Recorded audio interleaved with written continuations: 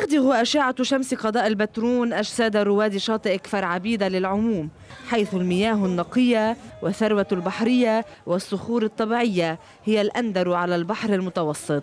فتحولت هذه البقعة العذراء إلى واحدة من 31 موقعا طبيعيا اختارها مجلس الإنماء والإعمار لتحويلها إلى محميات طبيعية منذ سبع سنوات.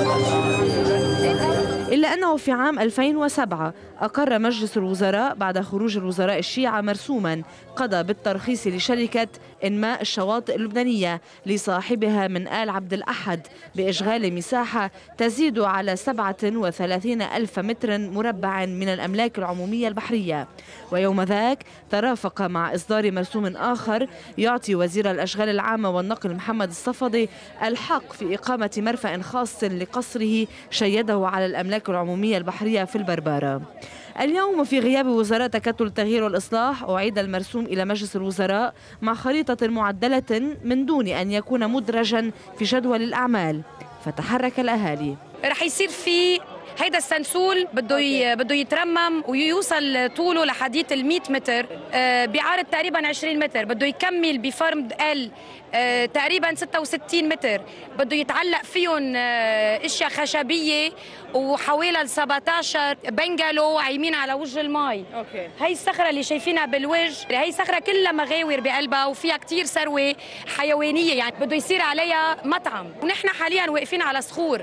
هلأ هيدول ردم لازم ينشالوا ليبينوا الصخور الطبيعية على هالمنطقة بده يتعمر اثنين piscine وبيتعدوا على الأملاك البحرية العامة شفتك عم تمضي عم تمضي ليه؟